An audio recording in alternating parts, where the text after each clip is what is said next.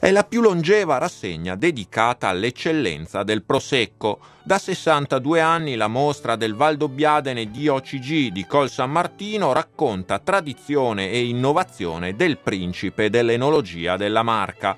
L'edizione 2018, come sempre curata dalla Proloco di Col San Martino, verrà inaugurata sabato 24 marzo.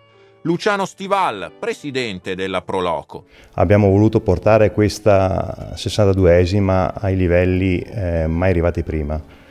Eh, quest'anno la parola d'ordine intanto è valorizzare il territorio.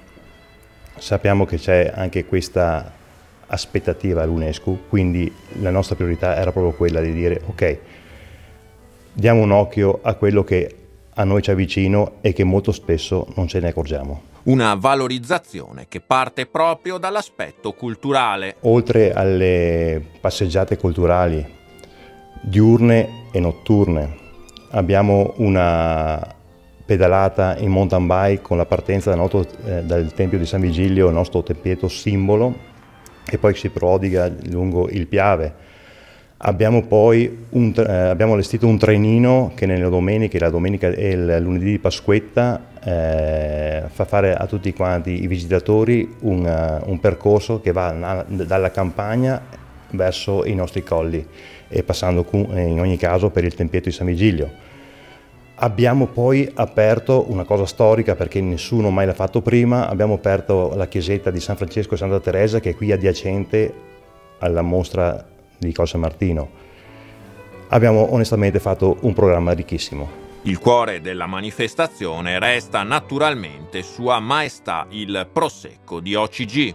Quest'anno all'interno della mostra è possibile trovare 73 produttori di vini spumanti, i quali con le loro etichette Brut Dry ed Extra Dry propongono più di 200 tipologie di vini diversi, mentre per quello che riguarda il vino che in, comunque ha fatto la storia di questa mostra, cioè il vino della tradizione secco e amabile, sono presenti 35 produttori che continuano negli anni ad essere presenti e decisi nella nostra mostra, nel nostro territorio. Alla fine della Kermesse una giuria di esperti enologi decreterà in ogni categoria le bottiglie migliori.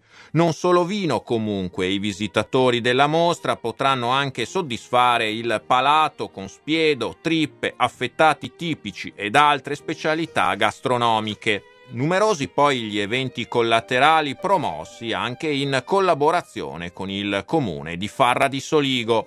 Dalla conferenza sul coraggio delle donne e la strada dei cento giorni, in cui lo storico Raffaello Spironelli ripercorrerà l'anno della fame dell'occupazione austro-ungarica, visto soprattutto dall'ottica femminile, il 10 aprile, alla mostra sulle fotografie del backstage del film Finché c'è prosecco c'è speranza, girato proprio sulle colline valdobbiadenesi.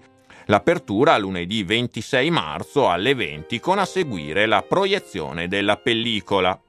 Una mostra, insomma, sempre più veicolo di promozione per l'intero territorio, come ricorda Silvia Spadetto, vice sindaco e assessore al turismo del comune di Farra di Soligo. Finalmente diciamo che ci stiamo tutti organizzando per eh, promuovere sempre di più eh, il nostro territorio a 360 gradi, quindi non soltanto singo- i singoli avvenimenti, le singole manifestazioni che, eh, che ci sono, ma eh, collegarle a tutto il, il, territorio del Conegliano Valdobbiadene. Dopo il taglio del nastro, sabato 24 alle 16, la 62esima mostra resterà aperta fino al 15 aprile.